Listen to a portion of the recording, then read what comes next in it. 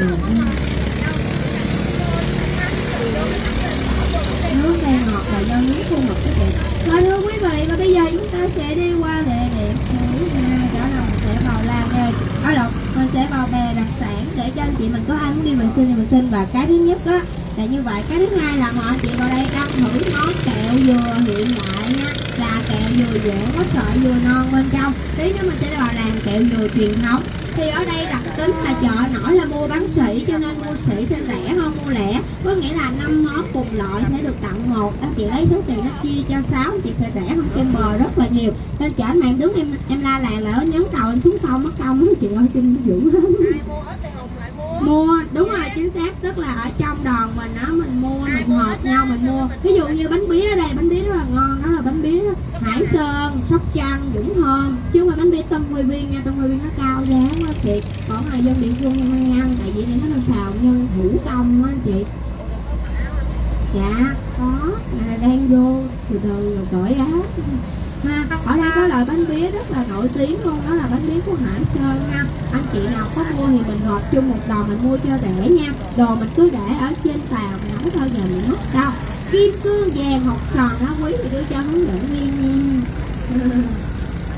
Hello, madam.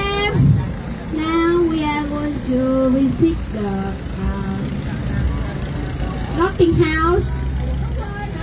The House, we are staying about 20 minutes and không biết được boat rồi, xin mời anh chị vui lòng cởi áo vào đây thay ghế nha.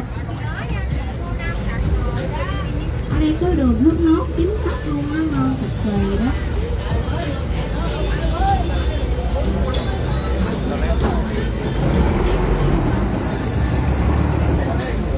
Đây mình để cái tay vào bên trong ha em à, mình sẽ được dán một cái mã số. Thì sau khi khoảng tầm 20 phút em sẽ đọc cái mã số đó. Anh chị mình quay trở lại tàu giùm em nha.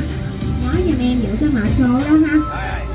Rồi mời anh chị mình vui lòng cởi áo phao đặt đằng sau ghế à hello madam. Now open jacket follow me please rồi xin mời chị nè. Được không? Chụp nhau. Bán lên à? rồi. Đi. nước hả? Ủa cũng đơn dễ mà.